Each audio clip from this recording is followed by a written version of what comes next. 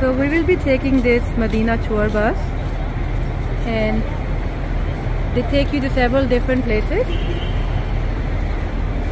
And it's like a hop on and hop off concept. So if you would like to spend more time at one place you can easily do that. So I will try to show you the stops that they normally make. And these are the languages that are available if you plan on taking the tour.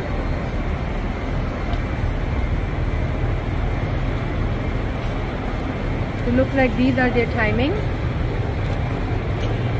every day. And these are their stops that they make. So Masjid Nabawi is the one from where